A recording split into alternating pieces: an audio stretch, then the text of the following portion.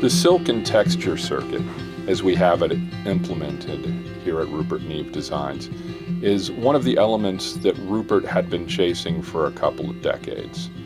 We wanted the ability to provide the harmonic content, uh, the richness, and that distortion characteristic that is so sought after with the vintage designs of his from the late 60s through the mid 70s.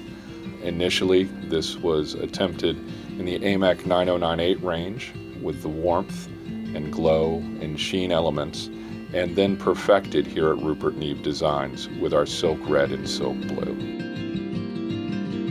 In the early days, I go back to, again, the vintage Neve consoles and Neve recording equipment. They were very simple transformer designs. That was the technology that was known in the 1960s. The harmonic content and characteristics of the transformer were inherent and were always present. Even at low levels, there was a little bit of harmonic, third harmonic content. And as you pushed the transformer, you got more third and started to add in second.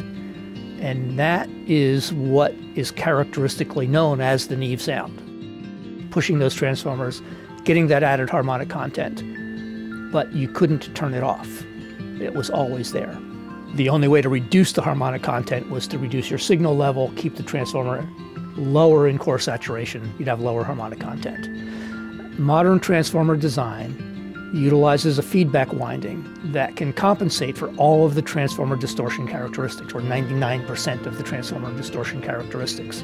So you can achieve a transformer output that can produce full signal levels over the full audio band with very, very low distortion characteristics. Then, to take that a step further, by taking the feedback parameters of the transformer and filtering out some of the feedback, you can bring the transformer back to a vintage style where the inherent characteristics of third and second harmonic distortion are allowed to come back out. Silk has been developed and enhanced over a number of products and development cycles, all having the same basic fundamental characteristic of allowing second and third harmonic content to come out. What we do with the red and the blue in silk is frequency contouring of where those harmonics are allowed to come out.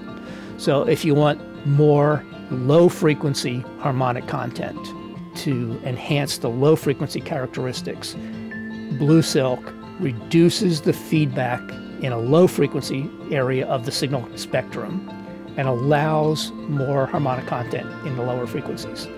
Similarly, in red silk, filtering is applied that allows the mid range areas to pull the feedback out filtered to just those areas and allow the harmonic content to enhance that frequency spectrum. Silk is there to allow the user to take the modern transformer design and bring some of the vintage characteristics into that, which are things that we know and we love from all the great records that were made on all those Neve consoles in the 70s and 80s.